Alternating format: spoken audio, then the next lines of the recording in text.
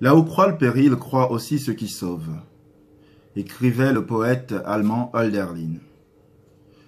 Tout le paradoxe était de mettre dans la même phrase à la fois le péril et la possibilité du sauvetage. Comment est-ce que le péril peut être, peut contenir en lui-même les possibilités du sauvetage? C'est une phrase au plan métaphysique et ontologique qui a une portée euh, singulièrement forte et qui, pour moi, euh, fait sens dans la mesure où je m'adonne à l'écriture. L'écriture comme la possibilité du, du sauvetage. Mais de quoi donc mon écriture serait-elle le sauvetage? Elle serait le sauvetage de ce qui constitue mon être et qui se trouve en ce moment, par l'histoire même et par la nécessité de mon existence en tant qu'exilé, comme mise en péril. Il s'agit de la terre, il s'agit du visage de ma grand-mère et celui de ma mère.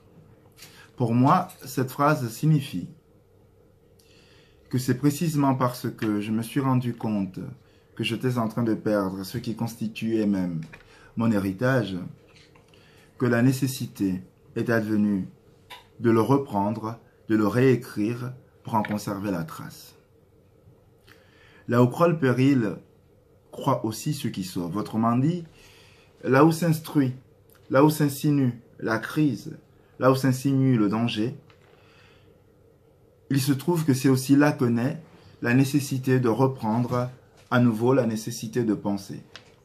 Il se trouve que c'est précisément là où il y a la possibilité de la ruine qu'il devient impérieux de reprendre euh, le cheminement, de reprendre l'histoire, de reprendre la réflexivité pour essayer de euh, penser une expérience qui soit salvatrice.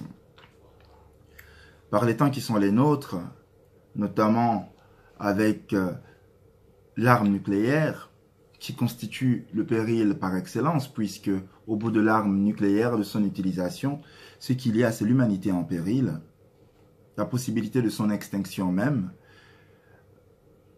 Il nous revient, il revient à l'humanité, il revient à la communauté humaine de réfléchir sur son destin éthique et sur la nécessité de construire un monde dans lequel la violence devrait être évacuée, du moins contrôlée, pour laisser place à la possibilité de la relation entre les peuples. J'apprends, j'apprends ici où j'utilise plutôt à dessein euh, le mot relation, le concept fort utilisé par un autre poète, Édouard Glisson.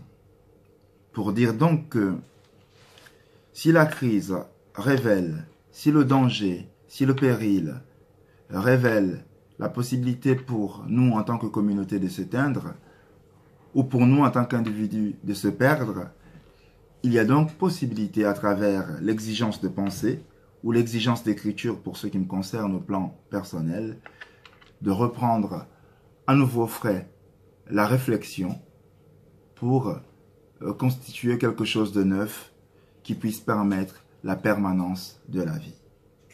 Voilà. C'était trois minutes consacrées à l'éclairage de la phrase du poète allemand Hölderlin. Là où croit le péril, croit aussi ce qui sauve.